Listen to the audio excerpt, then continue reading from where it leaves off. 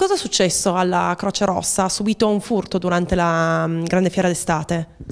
Ma allora, alla Grande alla Grande Fiera d'Estate noi abbiamo fatto un'assistenza sanitaria per tutto l'intero periodo di durata della fiera. La fiera stessa ci aveva riconosciuto uno stand eh, dove pubblicizzare le nostre attività, tutti, tutte le nostre attività, le donazioni di sangue, il servizio civile, tutta una serie di altre attività tipo clownerie, trucca bimbi, eccetera, eccetera. Ed in più anche le attività che giornalmente svolge la Croce Rossa o in convenzione o comunque a disposizione del cittadino stesso. All'interno di questo stand avevamo portato una, eh, un monitor che momentaneamente avevamo tolto dalla sala operativa nostra del comitato provinciale. Se non che lunedì e domenica è chiusa la fiera, lunedì pomeriggio siamo andati a smontare le nostre eh, attrezzature che, avevano, che avevamo portato lì per l'allestimento della fiera e praticamente ci siamo resi conto che questo monitor non c'era più.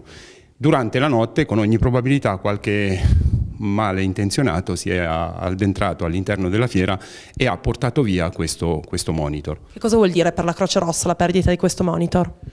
Ma allora, il monitor veniva usato in maniera polivalente, nel senso che poteva essere utilizzato e come televisore a disposizione per eh, gli operatori di centralino e di sala operativa e come monitor per le attività che la Croce Rossa svolge come gestionali dei servizi, dei, eh, degli automezzi, del, di tutta l'attività stessa che noi svolgiamo sostanzialmente.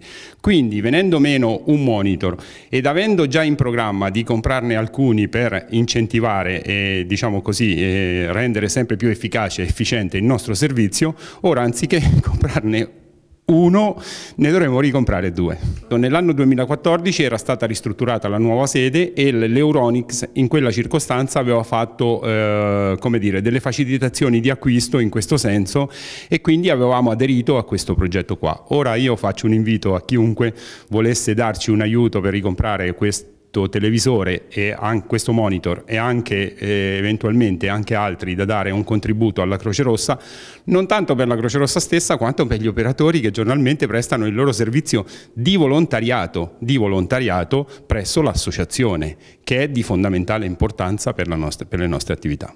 Logicamente eh, sarà ben difficile poter recuperare il valore di questo televisore che si aggira intorno ai 500 euro perché praticamente noi avevamo, chiamiamolo così, l'obbligo di andare la mattina subito e andarla a smontare, ma chiaramente se era stato sottratto nottetempo o comunque non sappiamo, eh, non l'avremmo trovato neanche la mattina stessa.